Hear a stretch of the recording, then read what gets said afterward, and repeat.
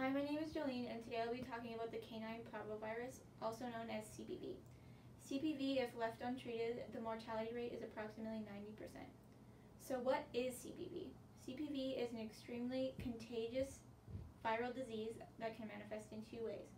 The first is intestinal, which is what I'll be focusing on today, and the second is cardiac, which affects the heart muscles of fetuses and young puppies, and in most cases leads to death. Most cases of CPV are of dogs that are six weeks to six months old, which is why it is very important to start vaccinating early on. So today I'll be talking about the origins of CPV, prevention, signs and symptoms, diagnosis, and treatment. CPV is believed to have originated from feline panleukopenia virus, which is an extremely contagious disease that affects the digestive system of cats. After CPV first started appearing in canines, it began rapidly spreading around the world with how contagious it is. So here I have the life cycle of canine parvovirus. So it begins with the carrier dog excreting the virus in its feces, and then another dog comes along and ingests the virus. And once the virus passes through into their intestines, it begins multiplying very rapidly, and then that dog then becomes a carrier of parvo.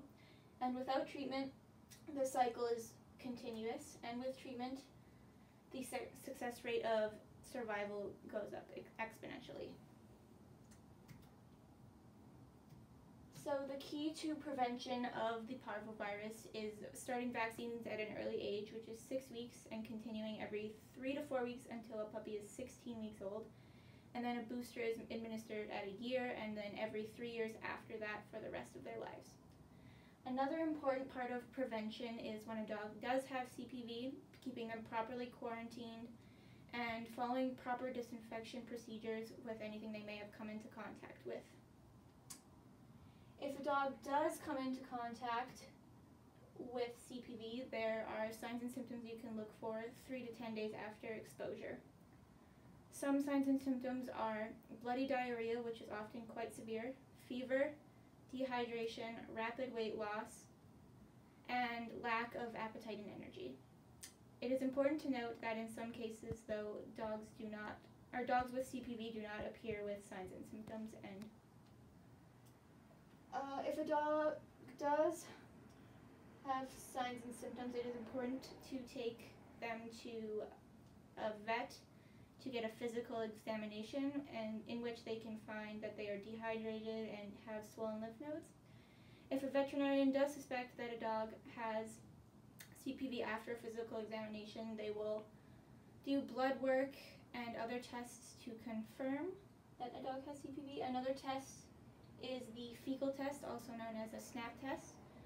So you take the cotton swab into the fecal sample with a light layer of the feces, and then you snap the solution up here into the part where the Q-tip is, and you swirl it around until it is all mixed together, which it is then sucked back up into here, and then this acts as like an eyedropper kind of. So you drop about five drops into here, and then you snap down the test to activate it, hence the name, and then after about five to eight minutes, if the test is positive, a second dot will appear next to the control dot, which is there at the beginning of the test. And if a dog is diagnosed with CPV, it is very important to seek treatment as soon as possible. Some treatments include antibiotics, intravenous fluids, and nutrient supplements, which fights the virus, um, helps with dehydration and malnourishment that may have occurred. Uh, it is important to note that treatment plans vary from case to case depending on the dog's signs and symptoms that they present with and how severe the case of CPV is. So, as you now know, the canine parvovirus is an extremely contagious and dangerous disease which is why it is so important to know what it is, how to prevent it, what signs and symptoms to look for so that diagnosis and treatment happen rapidly to increase the chances of survival with CPV.